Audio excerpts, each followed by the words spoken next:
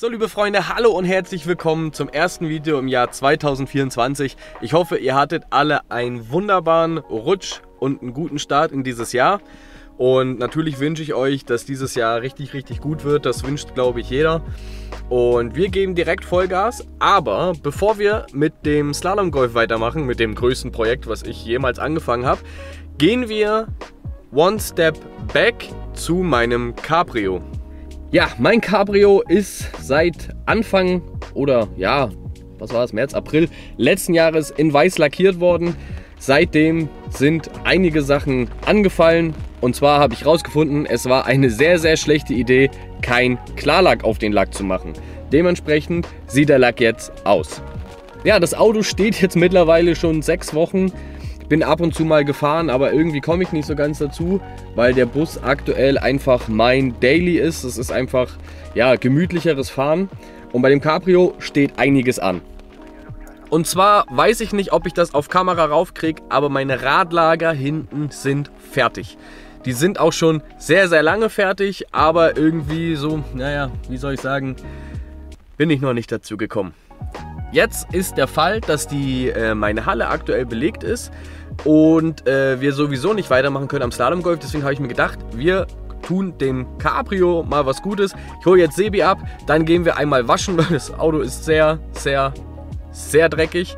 Da müssen wir noch eine Leiste ankleben und wir gucken, dass wir Radlager machen. Dafür müssen wir aber den Sebi fragen, ob ich morgen eventuell in seine Garage rein kann. Denn sein Fiesta ist aktuell in der Werkstatt. Ja, und das wäre perfekt, wenn die Garage frei wäre, dass wir da auf Oldschool-Basis einmal wieder reingehen können. Ja, aber zuerst müssen wir Sebi einmal abholen.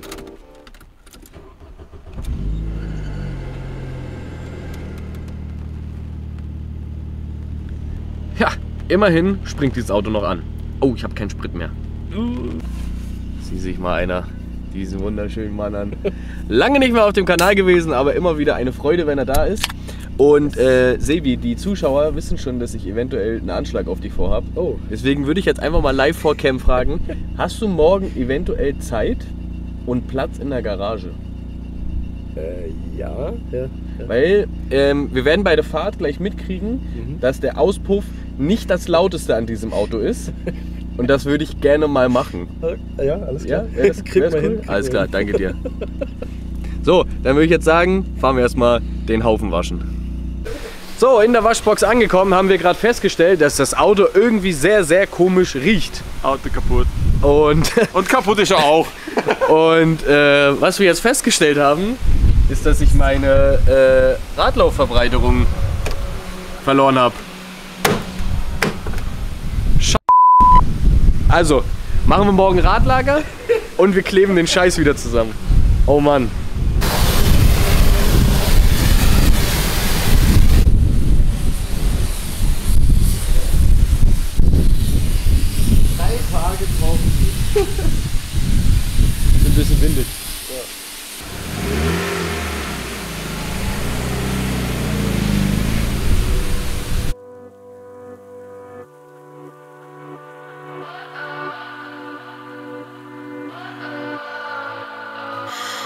What does perfect even mean?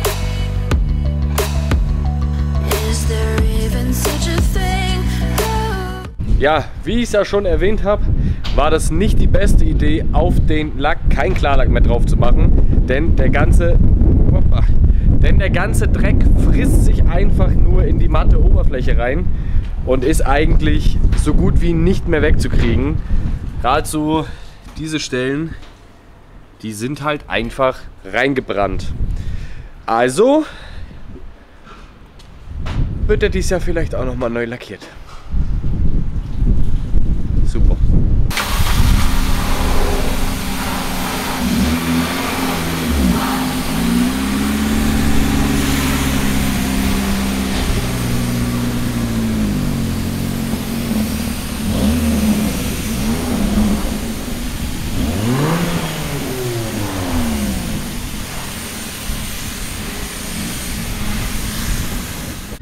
So, liebe Freunde, es ist der nächste Tag. Ich habe jetzt gerade meinen Radlagersatz geholt.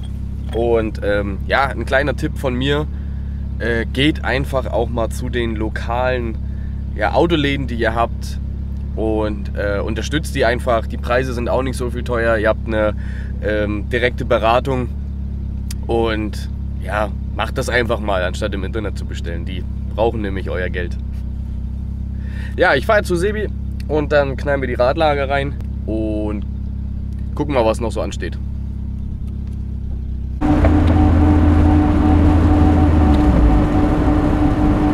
Ich hoffe, man kann es hören.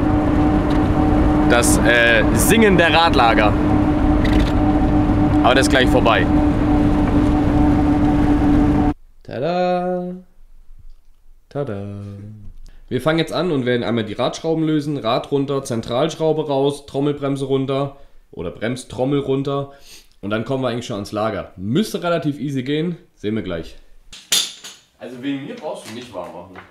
Jo, ich finde es nicht kalt. Okay. Außer du frierst. Ja, alles gut.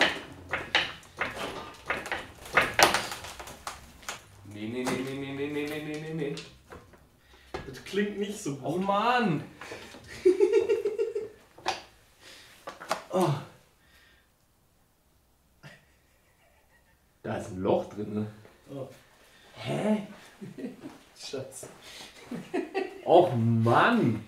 Alter, jetzt hat's den kompletten. Och Mann! kompletten Radlauf umgebördelt, Alter. Ja. Naja, hier die Aufnahme, die ist komplett weg.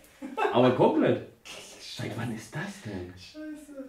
Och, leck mich doch am Och nö. Och nö. Oh, das sehen? Oh, Fokus hier. Ach du. Alte Autos sind einfach spitze.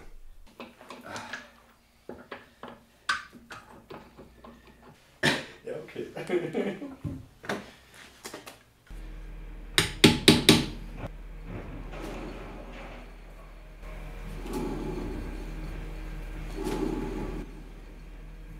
Klingt gut. Jetzt haben wir hier diese große Zentralmutter, die das Radlager quasi gegen den Konus presst.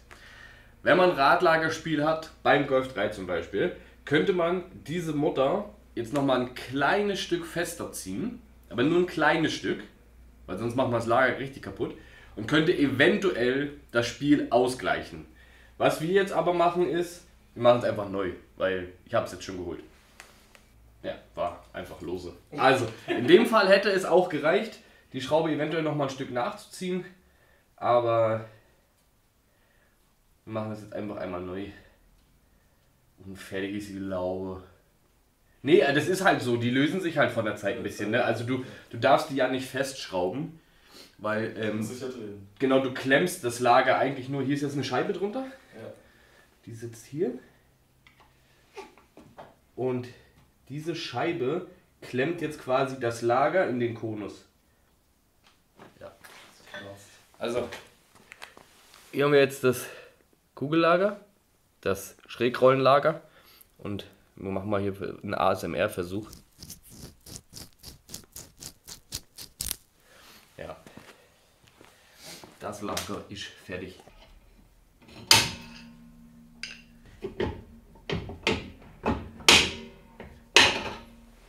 So, dann nehmen wir einmal unser neues Lager. Schmieren einmal erstmal in die Bremstrommel. Schön neue Schmotze rein. Jawohl, und das Lager schmieren wir auch gleich mal ein. Und immer dran denken, mit dem Fett nicht sparsam sein. Schön einschmutzen alles.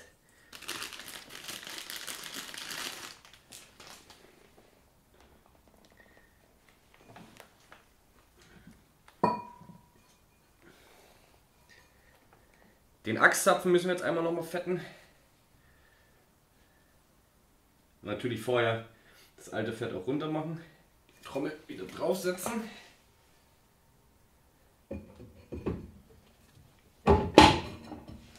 So.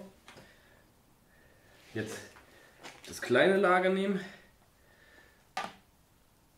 Schön einschmotzen.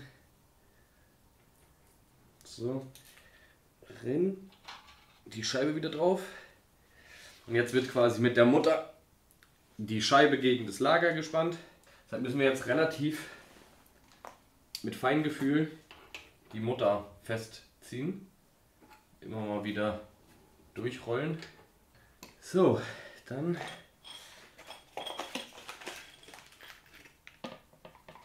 Ja, toll. Ich brauche zwei Lager.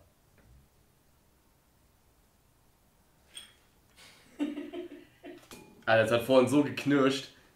Jetzt hörst du gar nichts mehr. Perfekt. Aber wir müssen jetzt noch ein zweites Lager holen. So, wir sind zurück. Zweite Radlager ist da. Das mache ich jetzt noch schnell rein. Und das äh, filme ich jetzt auch nicht mehr, weil wir haben jetzt gerade einmal gezeigt, wie es funktioniert. Und wir sind ja hier auch kein Reparatur-Tutorial-Kanal. Deswegen mache ich jetzt schnell die zweite Seite. Und dann müssen wir mal so ein bisschen die ganzen Leisten wieder festkleben und meinen Radlauf vorne, den ich verloren habe. Und ja, dann gucken wir mal. Ja, kurzes Update. Radlager sind ready. Und wir haben jetzt gerade nochmal mein Verdeck ein bisschen geflickt. Äh, ganz notdürftig mit Panzerband, weil halt einfach überall Risse drin sind und überall das Wasser reinläuft. Deswegen dieses Jahr muss da definitiv ein neues Verdeck drauf. Und da weiß ich noch gar nicht genau, wie ich das mache. Ob ich mir irgendwo ein gebrauchtes hole aus dem Schlachter oder ob ich mir doch ein neues hole. Äh, aber die Preise allein für die Überzüge sind halt schon relativ happig. So, was wir jetzt machen, ist, wir müssen mal diese ganze Problematik hier lösen. Das werden wir jetzt mal versuchen, alles wieder anzukleben. Auch vorne mein Radlauf, der sich ja komplett gelöst hat. Ähm, da gucken wir jetzt mal, wie wir das machen. Ich glaube, den Radlauf vorne werden wir einmal komplett nochmal abmachen und komplett neu rankleben und die Leiste hier quasi genau das gleiche. Und hinten auch. Aber da muss ich mir auch was einfallen lassen, weil das sind ja diese Billo-Zubehör, Radlaufverbreiterungen, die passen nicht so hundertprozentig. Da musste ich auch alles wegschneiden, irgendwie so. Und das ist einfach alles Kacke. Machen wir auch irgendwann neu. Und am besten original. Hm. Oder wir schweißen den auch breit.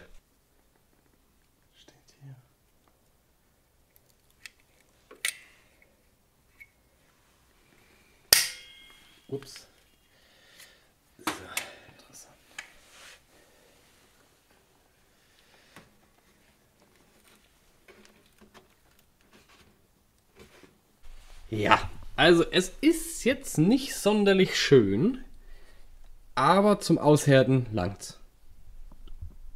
Oder? Ja. Wie lange? 24 Stunden. Also bleibt mein Auto jetzt 24 Stunden hier drin stehen. Du hältst deinen Schnauz. Okay, so, jetzt noch die Leiste hier hinten. Und dann haben wir es eigentlich.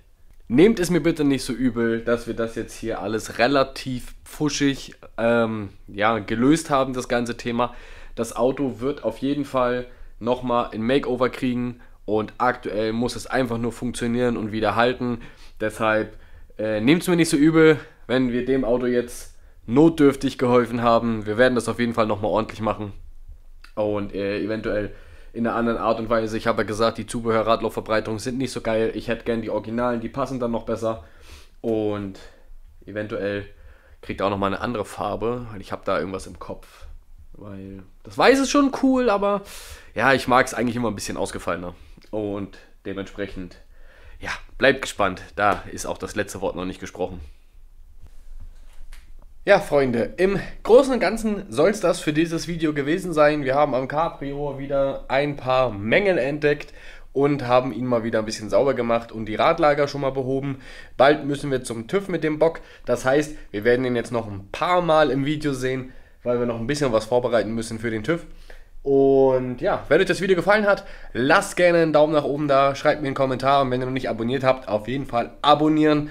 Und ich wünsche euch eine wunderbare Woche. Wir sehen uns, euer Freddy von der Tiefgarage.